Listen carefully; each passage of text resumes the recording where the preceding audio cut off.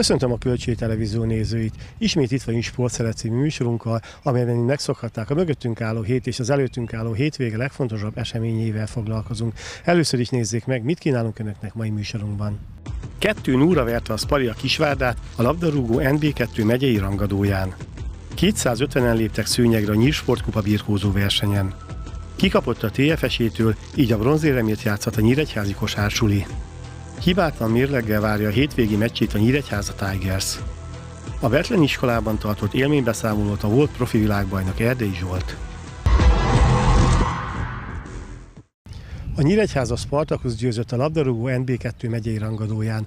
Lajka László együttese Kónya és Takás góljával 2 0 verte a Kisvárdát.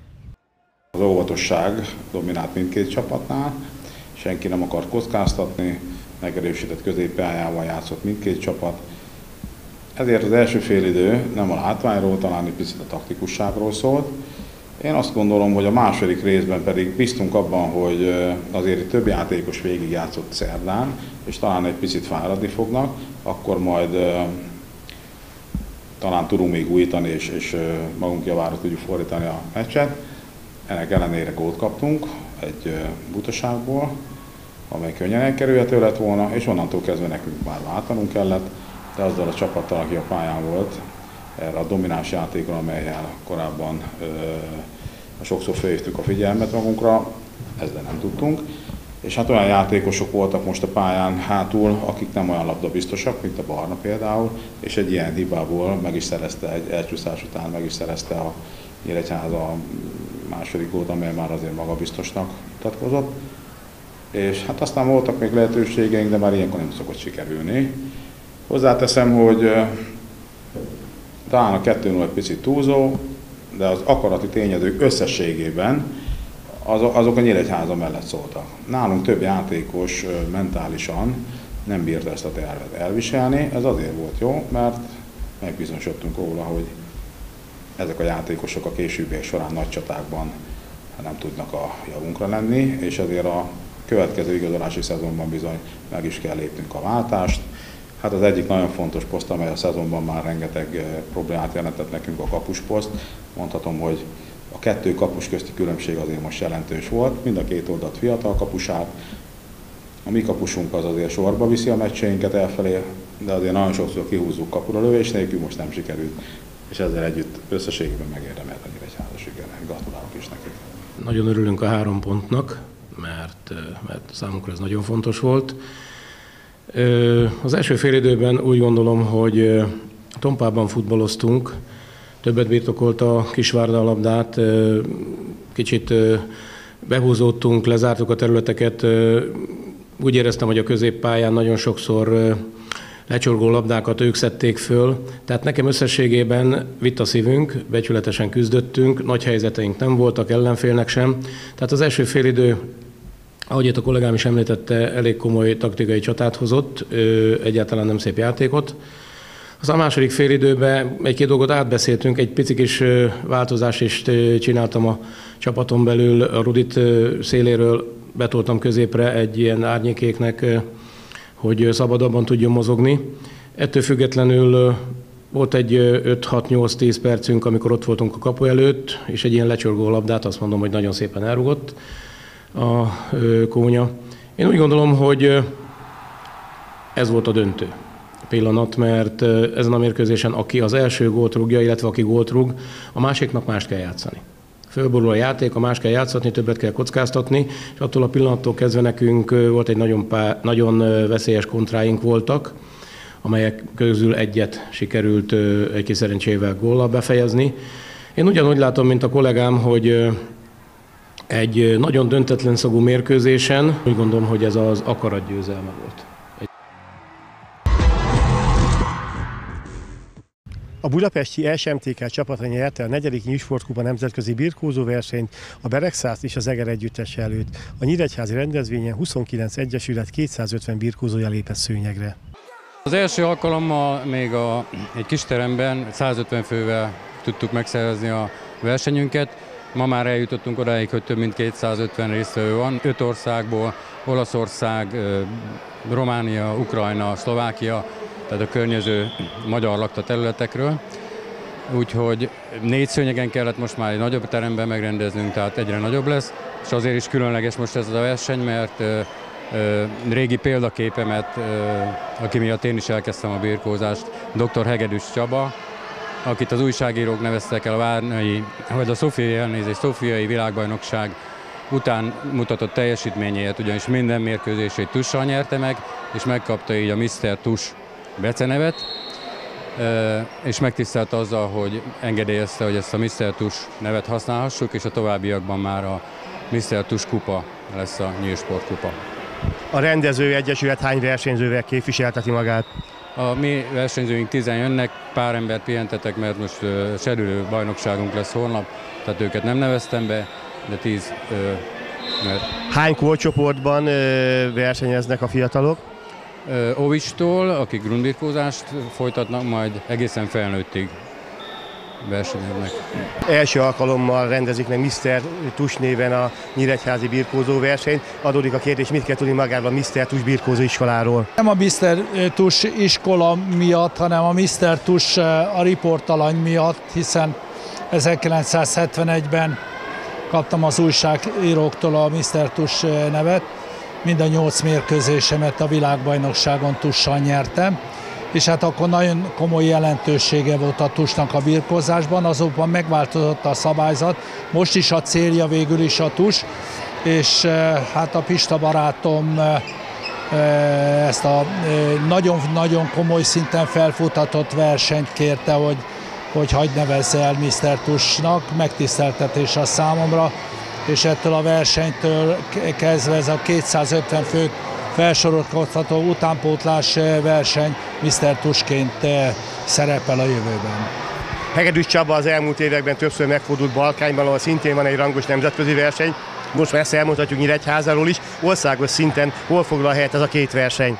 De azt gondolom, hogy eh, mind a kettőnek komoly hagyománya van, és hát itt a megnyitón lehetett látni a csillogó szemű kislányokat és kisfiúkat, a mai világban egy ilyen diák egy-kettő utánpótlás verseny 250 fő az nagyon komoly, és hát öt ország, a, a, a saját magyarokat is beleértve öt ország, tehát nemzetközi verseny tradicionális sportágról van szó, ugye már az olimpiákon is az egyik legnépesebb versenyszám volt, és magyar sikeres sportágról beszélünk. Mennyire nehéz ma bevinni, vagy mennyire könnyű a fiatalokat a birkózóterembe, a birkózó szőnyegre csábítani? A kormány egy négy évvel ezelőtt elkezdett egy utánpótlás finanszírozást, utánpótlás tömegesítése minden sportágnak.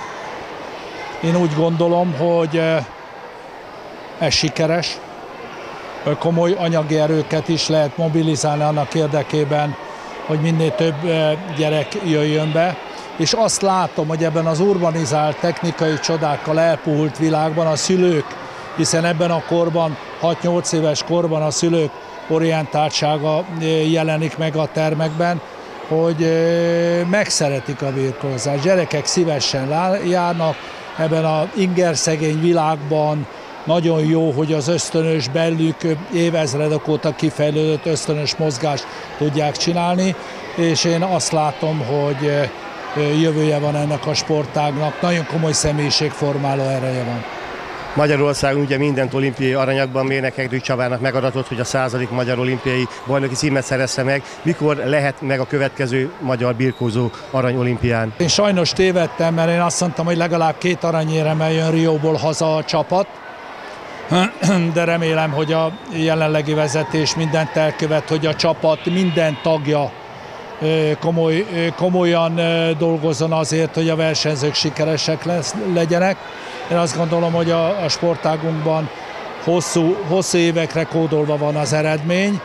Hát ez nagyon komoly szakmai, társadalmi, nem utolsó sorban szövetségi egymásra hatás, egymás segítése, nem utolsó sorban egy igényes munkának a követelése. Következtében lehet bármikor, hiszen most folyik az Európa-bajnokságot is, több érem van, és hát ma-holnap lesznek a kötött fogások, akik akár nyerhetnek is, akár még nem is egy aranyérmet.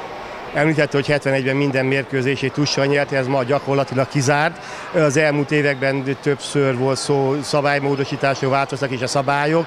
Jó felé tart a birkózás, vagy lenne még reformálni való rajta? A hónap végén megyek ki a Nemzetközi Birkózó Szövetség elnök úrral megbeszéltem, fölkért a kötött fogásnak a szaktanácsadói tisztére. Egy három napot szakmázunk, és remélem, hogy az a 60 éves tapasztalat, ami bennem van,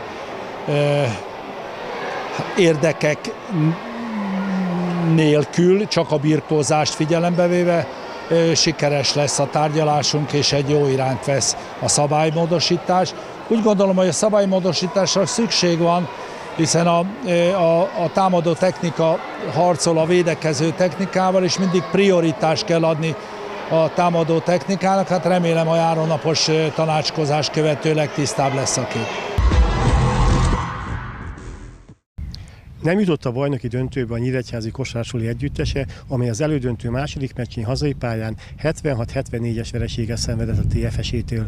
A budapestiek kettős győzelemmel jutottak a fináléba. Az igazság, hogy már eleve a, a kezdetek nagyon viccesek voltak.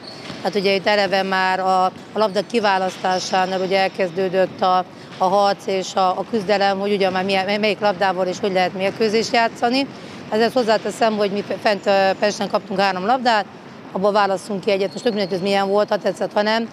Ott, ha bármit megreklamáltunk, abban a szent pillanatásban jött az elődemonstráció, hogy fejezzük be, nem lehetne reklamálni. Na most ez itt Nyíregyházán sajnos nem így történt. Az itteni komisszár azért, azért minden, minden egyes jelzésre vevő volt, minden egyes ki akart vizsgálni, és nem azt mondom, hogy ebben esetleg nincs igazam, hogy neki ez a dolga. Csak én úgy érzem, hogy a TF már eleve úgy jött le, hogy mérkőzés előtt megpróbált már olyan nyomást gyakorolni úgy a, az itteni személyzetre, játékosokra vagy bárkire, hogy a végjátékban ez nehogy gondot és problémát okozhasson a számára. Ettől függetlenül én gondolom, hogy egy jó mérkőzést játszottunk, amellett, hogy vétettünk olyan hibákat, ami, ami, ami esetleg oda vezethetett, hogy esetleg ez lehetett, hogy a mérkőzés vége játékában nem mi nyertük meg a mérkőzést.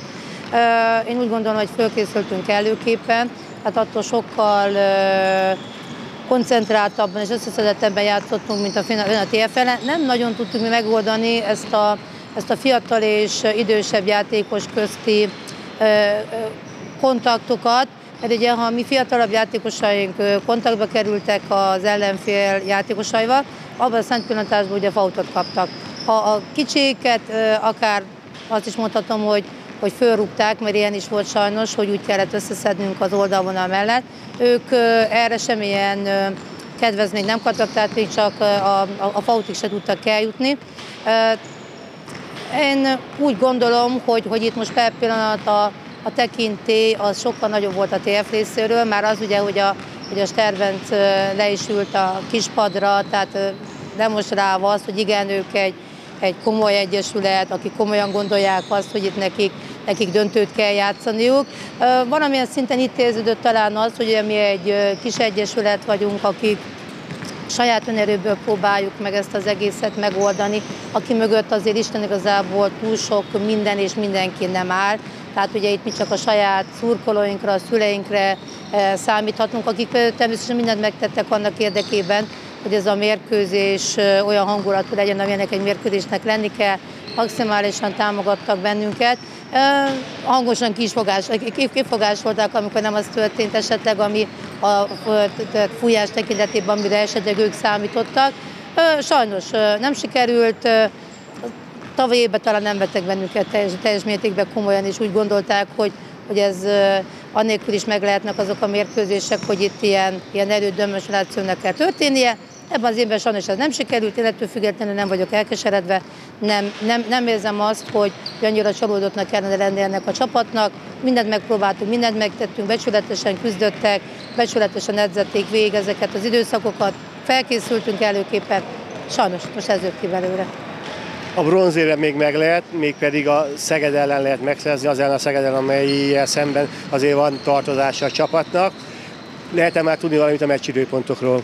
Az igazság, hogy a Szeged az mindig is egy ilyen, ilyen kisebb fajta mumus nekünk. Tehát, tehát mi nem nagyon szeretjük azt a, a szegedi atmoszférát, mert ott aztán kőkeményen van akár itt a, a trágár beszólásoktól kezdve minden, tehát ott azért, azért elég, elég, elég rossz körülmények közt kell kosárlabdázni, de én úgy gondolom, hogy ez erősíti majd meg a, a csapat lelkét, ebből, e, ebből tudnak majd a későbbiekben erőt gyűjteni.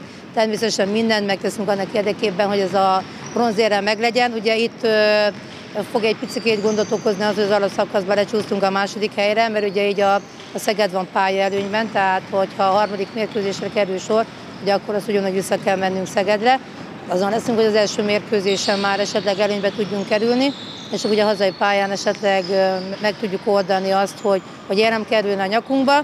Hát ugye ezt azért valamilyen szinten nehezíti az, hogy nekünk a Takács Anna az, az érettségizik, ami azért ugye nem, nem egyszerű, tehát neki ugye erre keményen kell készülni, és ugye a másik az, hogy a, a diát azt behívták a B33-as felnőtt válogatottba, ami ugye 15 ével elkezdi a felkészülést. Na most nekünk valahogy meg kell próbálnunk úgy megegyezni a Szegeddel, hogy amikor esetleg pihenőnapja van a diának, vagy amikor elengedik, hogy akkor játszunk ezeket a mérkőzéseket, hogyha lehet, akkor ilyen nélküle vágjunk neki ezeknek a, a fontos ö, ö, mérkőzéseknek. Nem egyszerű. Tehát azért nem egyszerű, mert ugye diától ezt nem szabad elvenni, mert ez egy olyan, olyan ö, dolog az életében, amit, amit nem szabad kihagyni, és természetesen ő annyi dolgozott ö, már, hogy megérdemli, hogy egy ilyenen részt vehessen. Ugye nekünk viszont dia nélkül megint csak nagyon nehéz lenne, tehát nélkül el neki menni egy szegedeni mérkőzésnek. Az innentől kezdve próbálunk egyezkedni a Szegeddel, még ugye nem, nem, nem kezdődtek el az egyezkedések, talán itt kedden szerdán ugye meg fogjuk kapni a hivatalos műsort is, hogy ugye a Szegeddel játszunk a harmadik helyért, és innentől kezdve próbálkozunk, reméljük összejön, ha nem, akkor, akkor hogyha nem tudjuk megoldani az időpontokat, akkor is azt fogjuk előtérbe helyezni, hogy a dia válogatottal felkészülhessen, és esetleg ugye a vb és az EB-n képviselhesse a magyar színeket.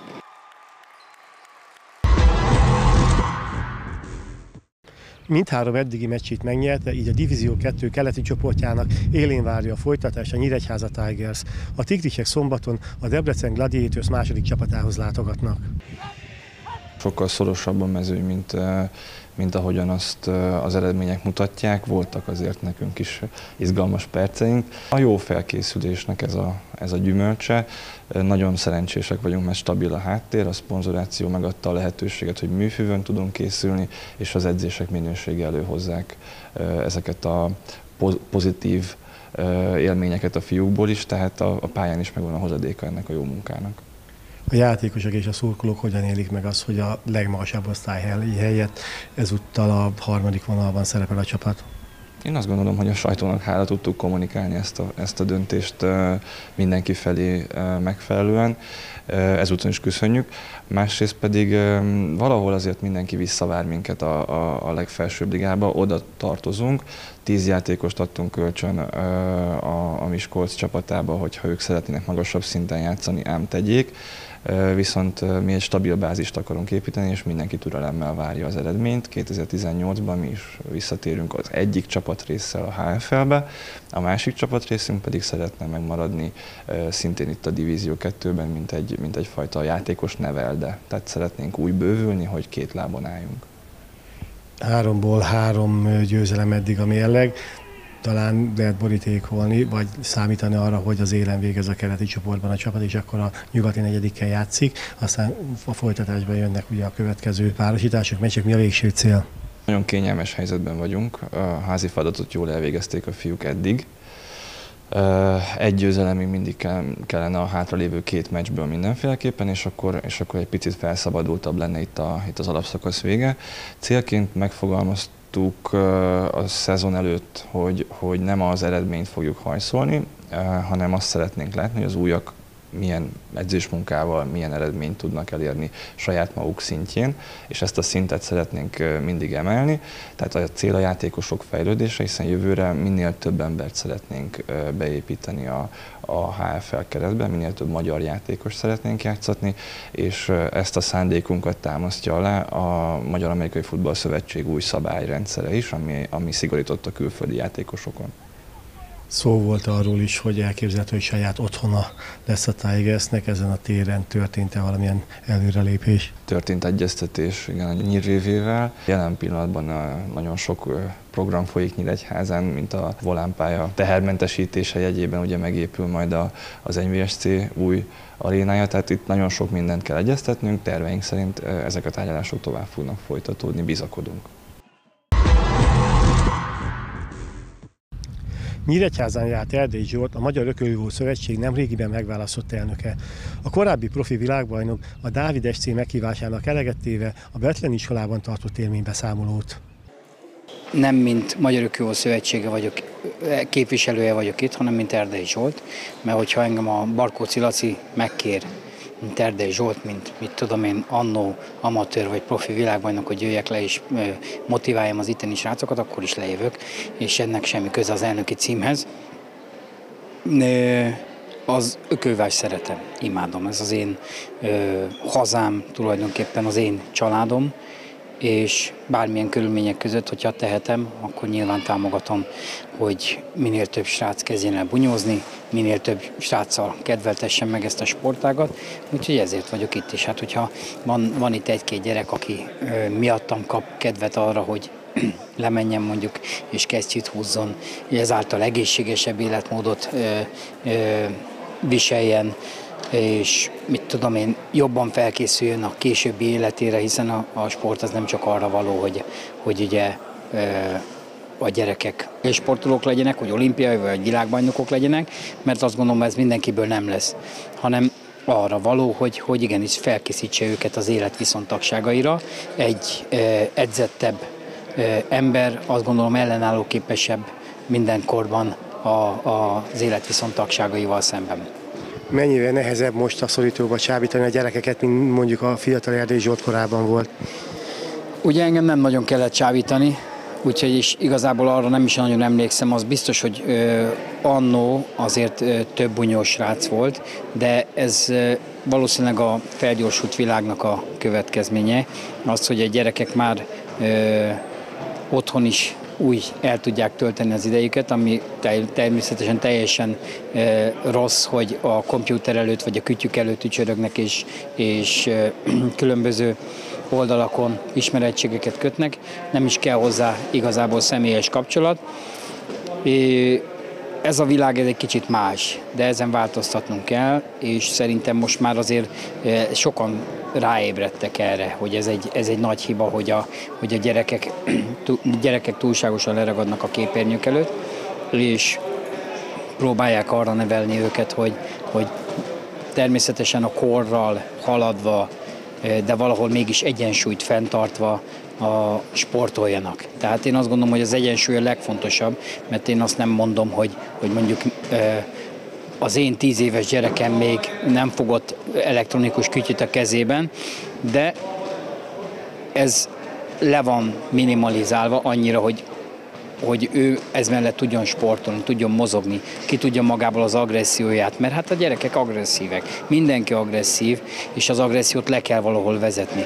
Most egy gyerek, főleg egy, egy 8-10 vagy 15 éves gyerek, akinek ö, már a fejmérete akkora, mint egy felnőtté, de még a testmérete sokkal kisebb, ezáltal a tüdeje is kisebb, sokkal többet kell mozognia ahhoz, hogy ezzel oxigénnel lássa el az agyát. Tehát ezért van az, hogy ezek a gyerekeknek rengeteg energiájuk van, és mennek, mint a mérgezett egér reggeltől estig, ordibálnak, kiabálnak egymással, az is az oxigén felvételt erősíti, tehát azért erre van anatómiai magyarázat is, hogy miért van az, hogy a gyerekeknek több a, több a, a az energiájuk, és ezt le kell vezetni. Na most, hogyha ezt az energiát, amit levezetnek, egy, egy, egy jó dologra fordítják, tehát mint mondjuk egy, egy, egy malom, amely kihasználja a szél energiáját, ugye?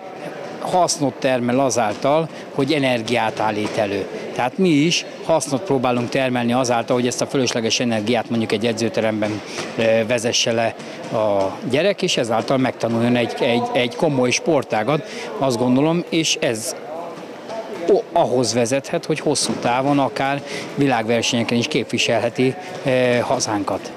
Milyen örökséget vett át az elnök kiszékben Csöcsönyi Sándortól?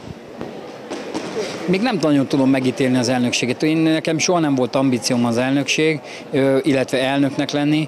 Én, én a magyar ökőváson szeretnék segíteni, egy pillanatnyi mélypontból egy kicsit kizökkenteni. Vannak terveim, remélem, hogy jó tervek. Nekem az a célom, hogy segítse a magyar ökővást, és hogyha most az ökővásnak itt, ebben a pozícióban tudok a legtöbbet segíteni, akkor, akkor gondoltam, hogy elvállalom ezt a pozíciót.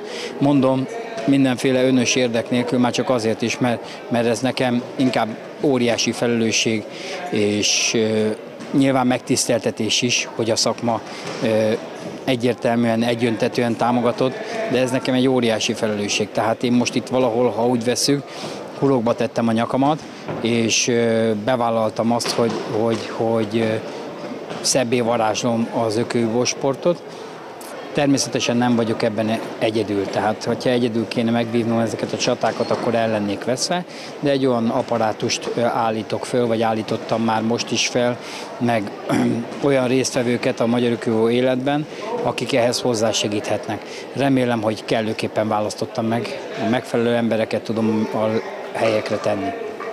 Magyarországon ugye olimpiai érmekben, aranyérmekben mérnek minden sportágat. Belátható időn belül lesz olimpiai érmes a magyar bunyónak. Azt hiszem, hogy olimpiai éremekről álmodozni azért nyilván nem butaság, de hogyha a realitás talaján állunk, akkor a következő olimpián azt gondolom, hogy jó, csak jó sorsolással sikerülhet. Tehát most, most ugye a legutóbbi Riói olimpián nagy nehezen sikerült két résztvevőt az ökövó sportágnak adni. Pont belenyúltunk olyan sorsolásokba, hogy ugye az egyik srác a, a az egyik mumusával boxolt, akitől már ott ötször kapott ki, a másik a későbbi olimpiai bajnokkal boxolt, tehát azt gondolom, hogy, hogy szerencsétlen volt a sorsolásunk. Egy kis szerencsével, komolyabb edzésmódszerrel, amit most remélem a Balzsai Karcsi nagyon jó kezekben tart, és hát én bízom benne, ezért is van az, hogy ő ugye szövetségi kapitányként tevékenykedik, tehát én bízom benne, hogy ő ezt jól kézben fogja tudni tartani, és akár a, két, a 2020-as olimpián is már ott lehetünk a dobogó valamelyik fokán, de én inkább hosszabb, még ennél is hosszabb távra tervezek, inkább a 2024-re.